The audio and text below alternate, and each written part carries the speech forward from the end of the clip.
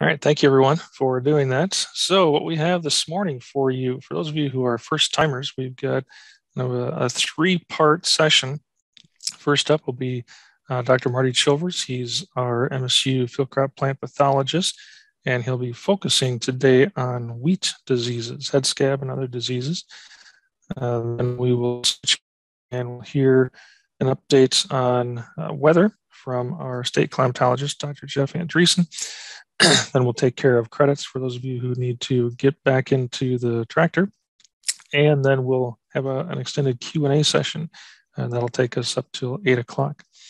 So first up is Marty. Marty, you can go ahead and share your screen. Thanks for joining us. All right. Thanks for having me on this morning. All right. So what I thought um, I'd do this morning is certainly cover head scab, but also touch on some other foliar diseases and then um, some of the um, impacts on yield from fungicide applications and, and various fungicide timings. So, just really quick, quick overview, a reminder of some of those other um, foliar diseases of wheat that can certainly um, rob us of yield potential. We had quite a bit of powdery mildew last year. There's a little bit out there this year, a little bit of septoria leaf spot as well at the moment. Uh, we aren't seeing any of the rusts as of yet. Um, so last year we had very dry conditions, right? We had all these sort of ideal planting conditions at the start of the season.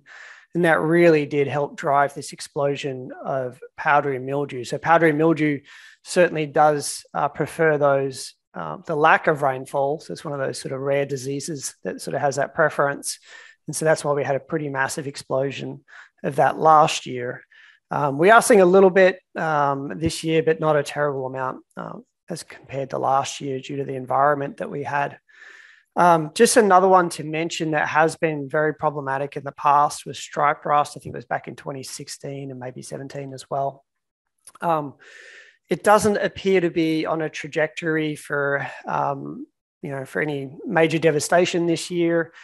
Um, typically, you know, we we look for stripe rust in our sort of southern um, states and then you know look for movement of that north. And as of yesterday you know there hasn't been that many reports. I'm also watching twitter feeds of various other um, people around the country.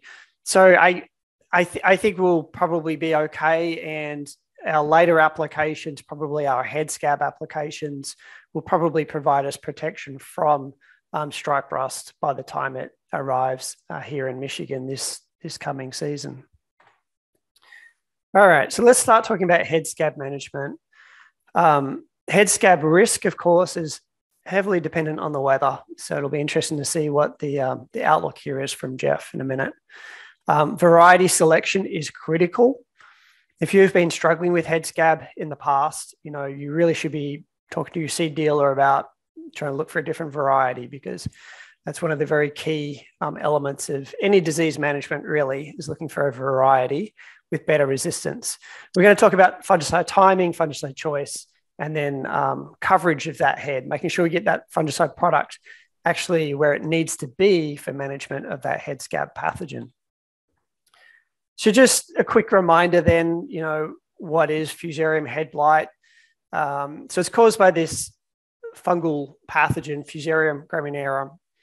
Um, and that survives in um, corn residue very well. It will survive in wheat residue.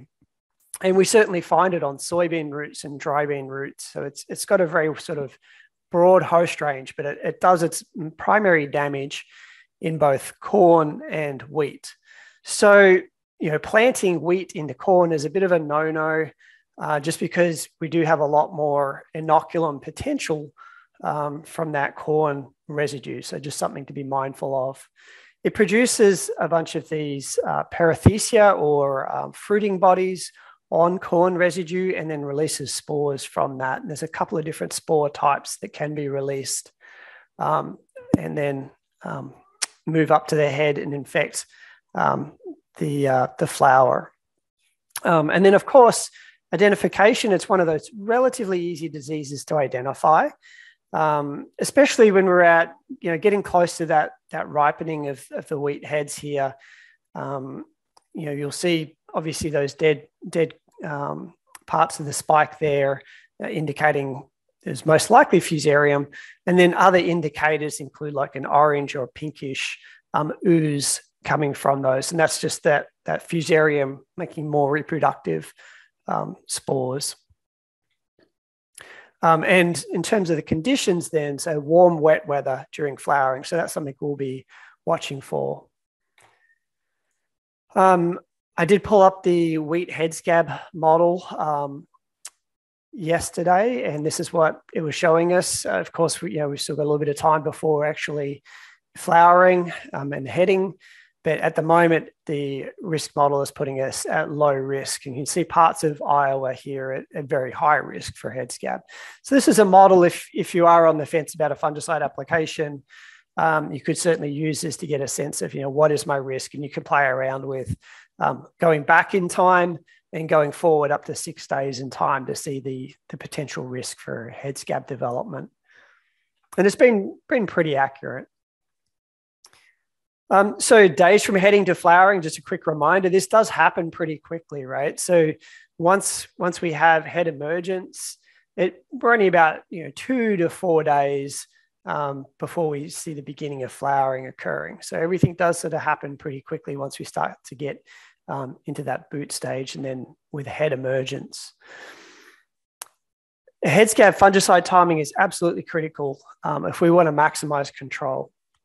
So really the ideal timing is when we are in those sort of that first week of flowering. Um, so on a wheat head, flowering will typically start in the middle of the head. It'll move to the top and then to the bottom of that, that wheat head. And what do we mean by the beginning of flowering? Well, in a field, what we are looking for is 50% or more of their heads are flowering. Of course, we can have variability if we have a variability in the field, topography, soil types, you know, stresses that can certainly affect the timing of various parts of that field. But you know, the the research that we've done to try and look at, you know, what is the the window of control here? Um, it's around about a week um, from that beginning of flowering.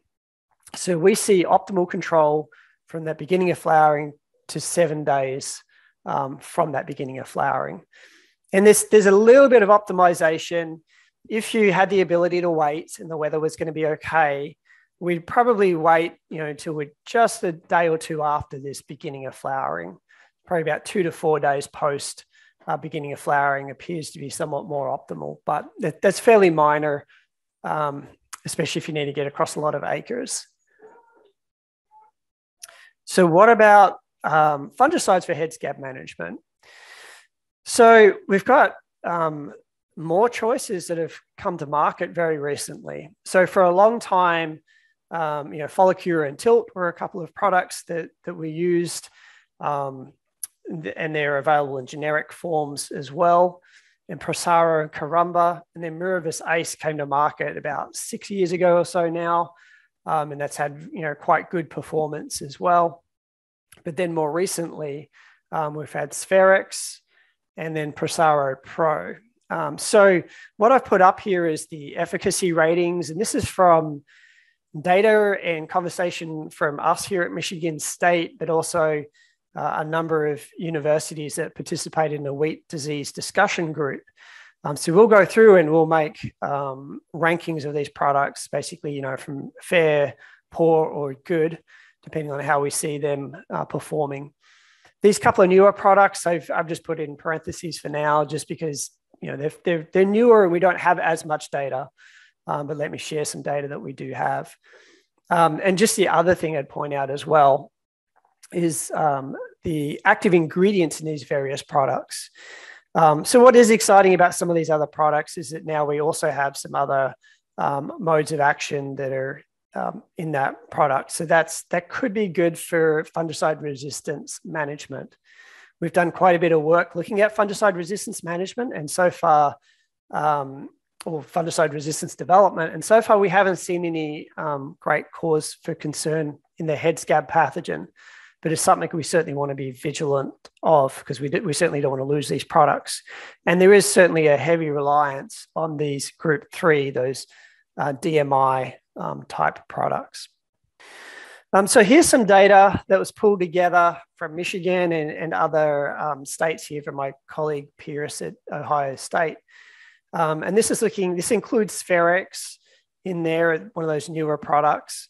So we've got a check here and this left graphic is what we're looking at the amount of head scab. So go out and visually rate um, plots for how much head scab is appearing. So obviously in this check plot, we've got quite a bit of head scab. Prosaro, uh, Caramba did a great job in reducing that, you know, dropping that by, I don't know, about 60 plus percent. Miravis Ace performing perhaps a little bit better. And then Sphaerex was doing a pretty reasonable job as well um, in terms of visual disease. And then the amount of mycotoxin or deoxynivalenol, DON, um, again, we're seeing around about a 50% reduction from, from these various products, Prosaro, Caramba, Miravis Ace. Um, and Sphaerex was doing quite a good job um, at suppressing Don too, which was really nice to see. So just more options than what we had um, a few years ago, that's for sure. Um, and we're continuing evaluating uh, these products as, as things come to market and things change. Um, this is a slide that um, Dave Hooker and colleagues have put together previously. Um, so typically when we're thinking about fungicide applications and when we do most of our applications, you know, be it for tar spot, um, white mold and other things, we're just using a flat fan or foliar diseases, a flat fan pointed straight down. Um, that's fine for foliar diseases. We get pretty good coverage of the foliage, um, but it's not really that good for maximizing coverage of that wheat head. Painted onto that wheat head as possible. So there are a couple of different things that can be done. Um, and these are a couple of suggestions that, that David made a few years ago now, either having a, a back and forward um, turbo TeeJet in, in this top picture example, or alternating turbo flood jet in this bottom example. Um, North Dakota State University also has some literature out there um, suggesting the use of flat fan nozzles, but angled forward um, ideally about 30 degrees. So as we're coming across that head, we get a, a, pretty good coverage of that, that wheat head as we drive through the field.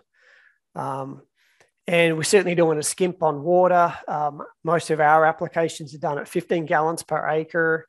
Um, I believe the 10 gallons per acre is still okay, but we, you know, as we start dropping off, that we may potentially, you know, lose some efficacy there. Again, because it's about getting that product um, onto the head.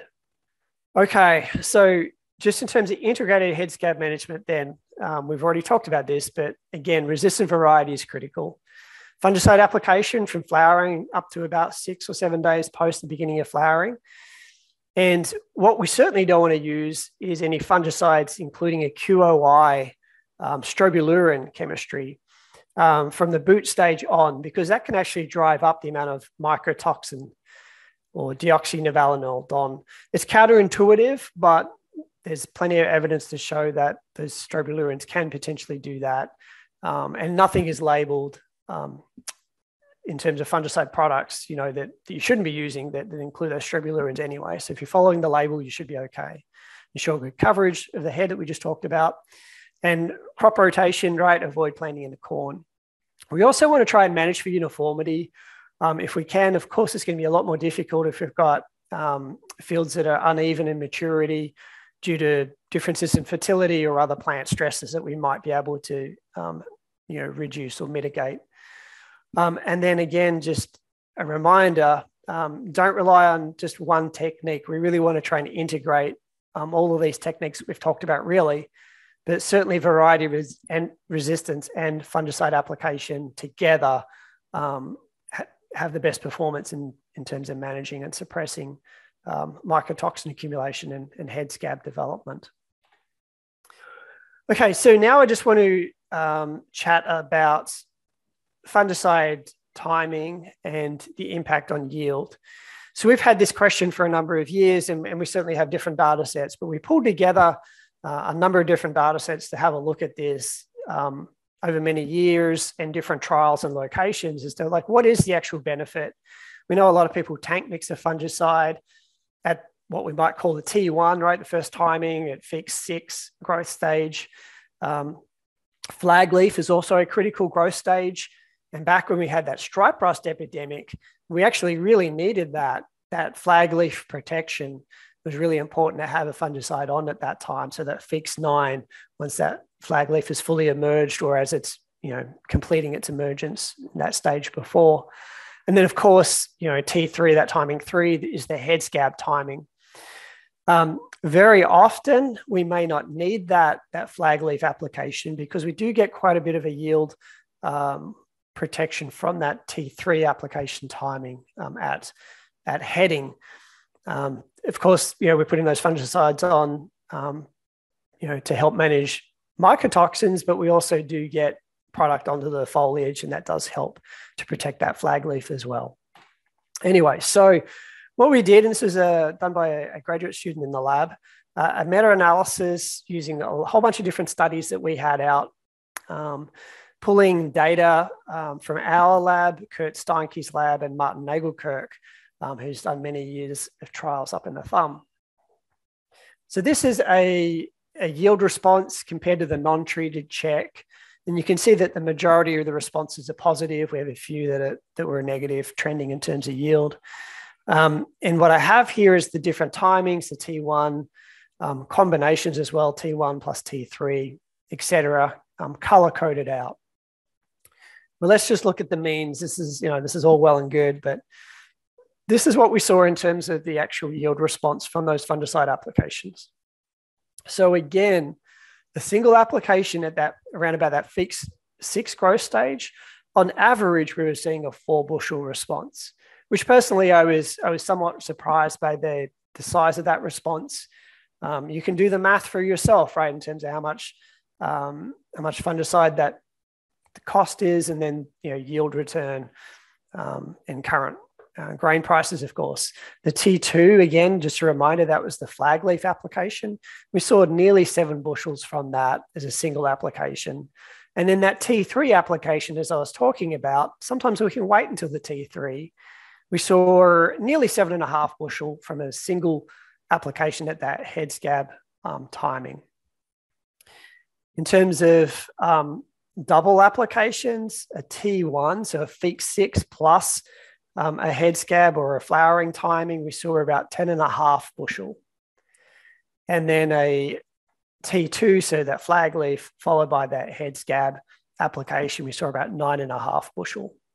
So we're working with Kurt Steinke at the moment to actually look at you know the three way, so a a T1, T2, and T3 application, and we've got a couple of different management systems, an irrigated and a dryland system to look at that, um, which we're pretty excited about, and different fertility treatments too, which which will be very interesting. So certainly, on average, all ap- application timings provided significant yield benefit. Um, obviously, the flag leaf and the head scab timings on their own provided greater yield um, benefit than that, that early fungicide application. I do need to really stress that responses are going to vary. You are not going to see this response per se on your farm in your field, right? You might. This is an average of responses. Um, and this is why I really think it's important to try and leave check strips um, if possible um, to get a sense of you know what is my return on investment from these various um, products that we're using. Um, and just a final note too, if we are using putting fungicides out more times during the season, that certainly does put additional risk um, in terms of fungicide resistance development. So that that's a downside to additional fungicide applications that we can't ignore. I, I just thought it was very interesting these yield responses that we were seeing, and I'd be happy to discuss those further. So with that, I'll leave it at that. So, for those of you who are joining via phone up on the screen right now, we've got uh, some other ways for all of our attendees to be able to access the presentation recordings. Uh, that's via our, our Field Crops web page. We've also on Twitter and Spotify podcasts on Apple as well as Facebook. So this is where we shift gears, move into our time of Q&A. And we do have a couple of questions already, but everyone feel free to go ahead and type in any questions that you've got into the chat box. Our first two questions are for Marty. Uh, first one, Marty, uh, there's more and more cereal rye used as cover crop. Is there any incidence of ergot in this area, especially if it goes to maturity with all of our inability to terminate the crop this year? Um, yeah, that certainly could be a, a concern. Um, so ergot, um, you know, produces these alkaloids, and it's there's a lot of European history around this too, right? Um, but yes, that certainly could, you know, potentially increase the inoculum potential for ergot. And here's some examples or a photo of ergot affecting a wheat head here. Um, so this fungal disease basically um, replaces that um, ovary um, seed um, tissue in that that wheat head. So that's certainly of concern if we have additional um, grass species out there that that could become infected too. Uh, I'll just take a quick second as well, just to point out some other things we've been looking for um, as we go into maturity as well. There has been some dwarf bunt and common bunt or stinking smut. Um, these are very problematic. Um, this is also fungal. It's a different sort of group of fungi, but it's also fungal. And it produces a, a, a fishy smell in the grain. And so that's why it's a problem. Um, you can get loads rejected because of this. Um, so we had some reports over the last couple of years. Um, it, it could be increasing somewhat. Um, if you happen to see this, we would very much appreciate samples um, so that we can um, just sort of document what's going on. And we're, we're working on some projects here trying to figure out exactly which species is there causing the problems. So, okay. Another question. Uh, which wheat diseases, uh, particularly the ones in the lower canopy, uh, should we be on the lookout for given the, the six to 10 day outlook that Jeff just gave us?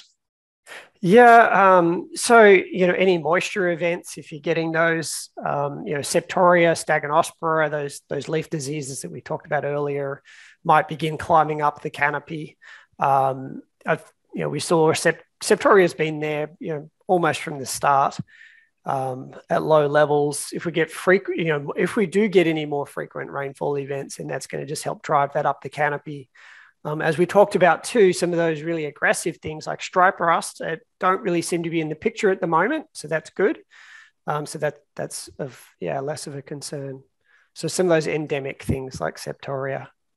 So going back to this issue of uh, maybe some crossover uh, from cereal rye, uh, what are some of those diseases that that could spread from a cereal rye cover crop over into a wheat field, and then maybe how far uh, would that spread like from one field to the next, a quarter right. mile? How far?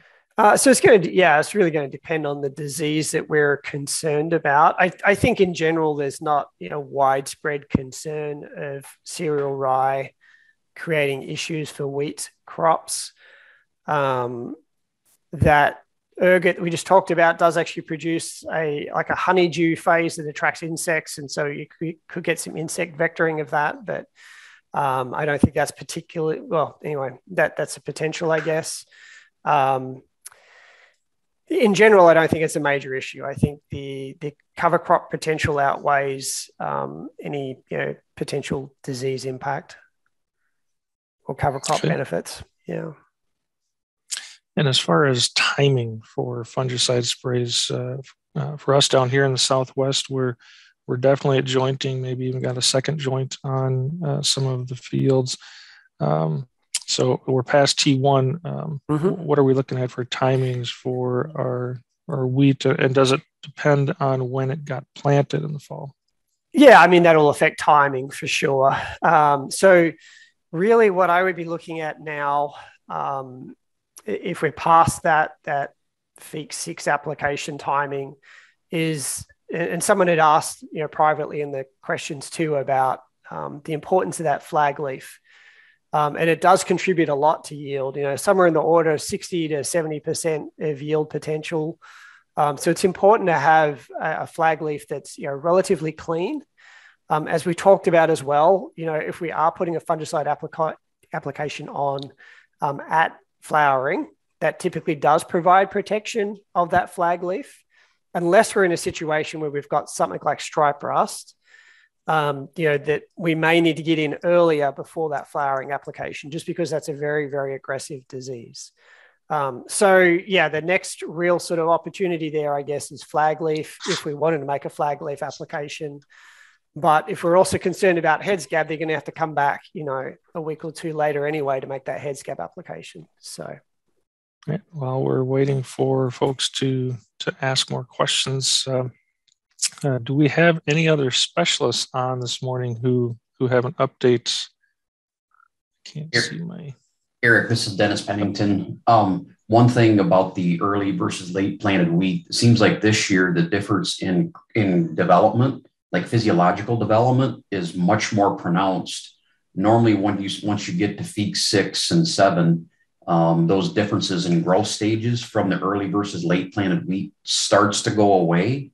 But there is a big difference this year between early and planted. So when you're managing, you know, what Marty said about the timing for your growth stages is still accurate, but you may have fields in much more a, a much larger range of differences in physiological um, you know, development. So it might be really, you know, normally you would go out there and decide, all right, I'm going to put head scab fungicide on, and you just do all your acres. Um, if you have some late planted wheat and early planted wheat, you might have to come back and and do your your uh, late planted wheat, you know, at a different timing. Um, so just keep that sure you're timing the application properly. And by the way, uh, for, for, those of you who are uh, on this morning, feel free if you've got questions uh, for other specialists. Uh, if they're on this morning, uh, we can certainly direct them to them. So it doesn't have to be just about uh, diseases on wheat. any other specialists on who have any any comments, any any insect issues? I think I saw Chris on earlier. I'm here. Um, my uh, trap counts have been very low. I think Eric, yours have been low too for black cutworm and for true armyworm. Like no armyworms at all, and uh, like I'm getting one black cutworm a week. But I did see that there was a trap up in the thumb. I don't know whose trap that that is. That had something like 30 last week, which would be um, a, a, heavy catch. And driving around, man, there's a lot of uh, chickweed and uh, dead nettle and all sorts of annual weeds there. And um, I was doing some some grub sampling down in Bowling Green last week, and as we were pulling up weeds looking for grubs, we found a couple of black cutworm, you know, pretty easily. That was down there. So if there's uh, if if those annual weeds are there and they're not dead yet, and uh, those females come in and and and lay eggs, and then once those weeds are sprayed out, then they will move to the corn crop afterwards. So it's something to really be to, to be watching for, to be very careful about if you don't have good weed, weed control yet in some of those fields. Although, like like I said, my counts have been very low, and Eric, your counts have been very low too in the southern part of Michigan. I think you know it's all could be luck of the draw on where a storm front comes through and things kind of rain out. And there's a lot of grubs. I just I just am saying and I guess my my my last thing, and this all has to do with that we don't have winter anymore. There's going to be mosquitoes in a few weeks that there's just going to be a lot of them. But I also already have ticks. And I've never, I mean, again, I know we're all in agriculture and we we think we're not traipsing through the woods. But when you're on the edge of a field and you're loading seed or something and you're going through that ditch and there's tall vegetation, southern Michigan up into mid mid mid Michigan, the tick burden is very large and it is growing. And I just was out yesterday mowing at the entomology farm on campus and I went home and I had ticks on me. So without winter, ticks survive very well and deer and rodents move them around and uh, just at the end of the day, check yourself for ticks if you've walked through any taller vegetation on the edge of a field. Eric, I'm I uh, have been walking some alfalfa fields that had extensive water last year.